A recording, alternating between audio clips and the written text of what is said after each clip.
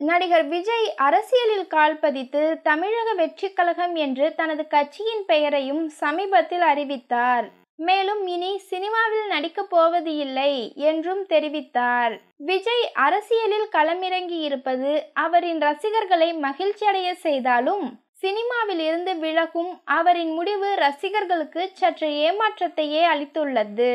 இந்த நிலையில் விஜயின் நெருங்கிய நடிகர் சஞ்சீவ் நேர்காணல் ஒன்றில் விஜய் குறித்து பேசியது தற்போது வைரலாகி வருகிறது.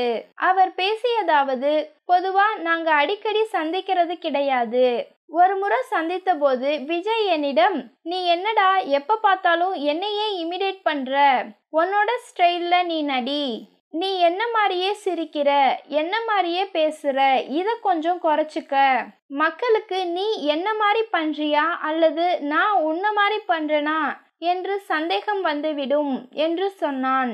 அதற்கு நான் கோவப்பட்டு விட்டேன். பொதுவா ஒருத்தவங்களை பிடித்து விட்டால் அவர்கள மாதிரி இயல்பா சில விஷயங்கள் நமக்கு வந்துவிடும். அந்த மாதிரி தான் எனக்கு வந்திருக்கிறது.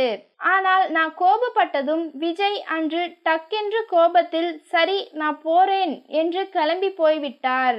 அது எனக்கு கஷ்டமாக தான் இருந்தது. விஜய்க்கு கோபம் வந்தால் எதுவுமே பேச மாட்டான். அந்த இடத்திலிருந்து டக்கென்று கிளம்பி போய்விடுவான். அது அவனுடைய இயல்பு. பிறகு சில வருடங்களாக நாங்க பேசவே இல்லை. அப்புறம்தான் பேசிக்கிட்டோம் என்று பேசியுள்ளார்.